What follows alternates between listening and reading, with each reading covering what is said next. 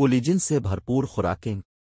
बालों, जल्द और नाखूनों की सेहत में बेहतरी हासिल करने के लिए कोलिजिन से भरपूर खुराकें इस्तेमाल करें।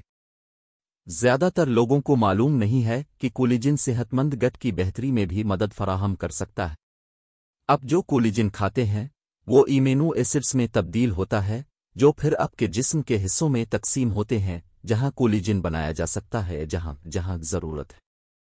गलासाइन लाइसियन प्रोलाइन ल्यूसीन हाइड्रोक्सीपिरोलाइन और हाइड्रोक्सीलाइसियन कुछ लाजमी इमेनो एसिड्स हैं जो कोलिजिन की पैदावार के लिए है। रियासत है मुतहदा का खान पान मनसूबा के मुताबिक गोश्त। कोलिजिन का अच्छा ज़रिया है। गाय का गोश्त इमेनो एसिड्स का एक बेहतरीन ज़रिया है, जो जड़ों के तामीर के अनासिर हैं। गाय का गोश्त कालिजिन का भी एक कुदरती ज़रिया है और ये कॉलिजिन पीपटाज, सप्लीमेंट्स, बनाने के इस्तखराज के अमल में आम इस्तेमाल होता है। लिहाजा, जब आप एक रसीदा स्टेक में चटकारा मारते हैं तो आप खुद को फ़ायदा पहुँचा रहे हैं।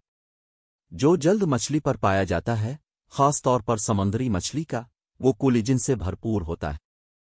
इसके अलावा, मछली एक अजीम ओमेगा तीन फैटी एसिड का ज़रिया है, जो जिल्द की सेहत को बढ़ाता है।